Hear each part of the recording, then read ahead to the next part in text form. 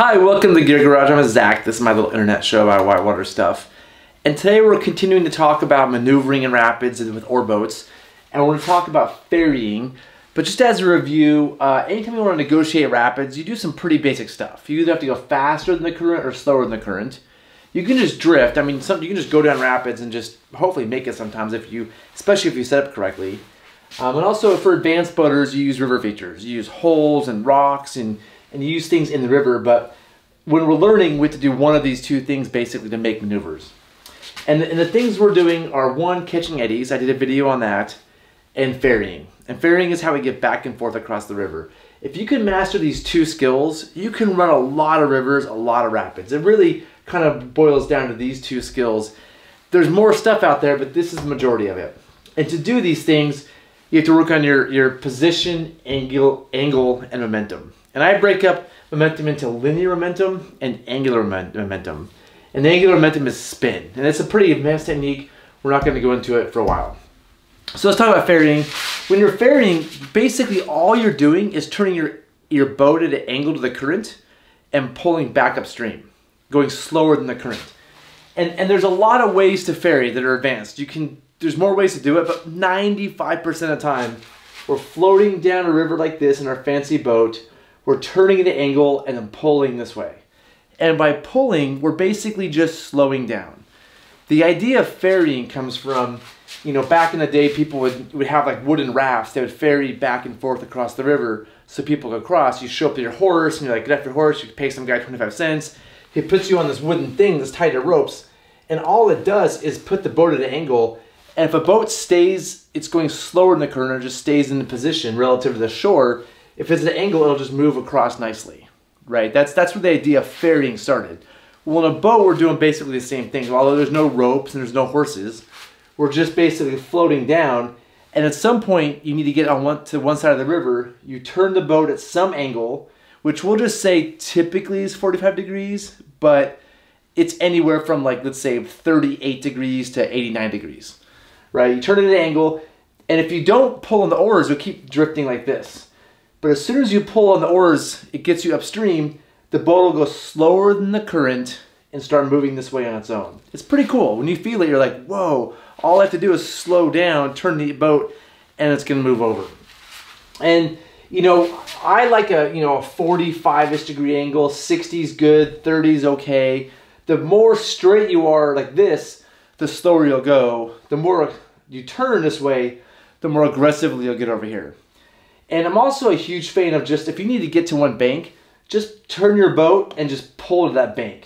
There's actually no technical ferrying here, but it's incredibly effective. And so, you know, if you have to make that move, I would say a more aggressive angle like this will get you there quicker. So that's just an overall view of ferrying. You can also, you know, for advanced boaters that are strong, turn the boat upstream and push, push, push, push, push but it takes a lot more skill and a lot more strength to do that. So almost all the time we talk about ferrying in oar boats, we're back ferrying. And you know, this is how we negotiate rivers. If we think of a rapid here, this is one big rapid. Um, you know, right here we have a the current's going by here, forming an eddy line because the current's going like this, back like that. They kind of gets messy there. Same thing, the current's coming down here, backfilling here. So it's getting messy here. This is a rock. The current's coming down, going around the rock and backfilling. So there's eddy lines like this. So if we want to maneuver through rapids, a lot of what we're doing, if we come in here, if we want to get to this eddy, we basically pull, pull, pull, pull, pull, pull, pull, pull, pull. And I, you know, if you're advanced, you at the last minute turn your boat and just push into the eddy, right?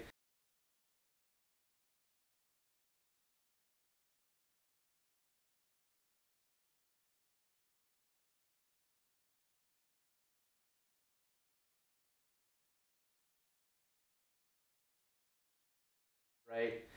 Then push out like this, and you can ferry back across. Let's say we're doing this on a push. Push, push, push, push, push. That pushing, again, you're going slower to the current, you're at an angle. It'll push, push, push, push, push.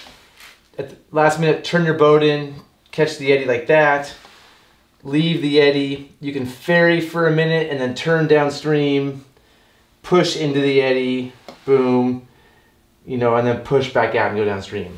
And so it's just a lot of ferrying and catching eddies. Another way to do this again, all by pulling, you know, you can start here, pull, pull, pull, pull, pull, pull, pull, try to pull into this eddy. When we're par parallel to an eddy line, it's hard to cross, so we're gonna catch it lower because it's just really hard to cross the line. Get in the eddy, move to the top, leave the eddy in a pull, get an angle, pull out, pull, pull, pull, pull, pull, pull, pull, pull. Same thing, get over here, you know, pull into the eddy line. You're gonna have a hard time breaking the angle, so you're gonna kind of fidget a little bit. You'll get in there though, hopefully. Go back up, leave on a pull, pull, pull, pull, pull, pull, pull, pull, and then kind of pull into this eddy, kind of go low and get up there, and then do whatever you want to do. So, like I said, I really, if you can really master the idea of ferrying and catching eddies, you can do a lot of rapids. You can advance very quickly. And this again, like this just takes practice. It just takes you going to your local river and just catching an eddy that, that you don't need to catch, but catch it anyway, and try to ferry across, and then turn it and ferry across again. And as you're learning, you just want to be ferrying back and forth across the river, and then you'll start learning about surfing, right? As you're ferrying across, you'll catch a wave and you'll go, whoa, the wave can actually surf you across, which is a river feature, using one of the river features.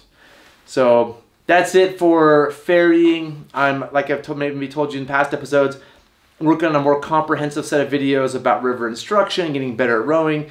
So if you have things to add to this, like extra tidbits or thoughts, um, any feedback for me, it's really appreciated. And yeah, see you in the next episode. Thanks.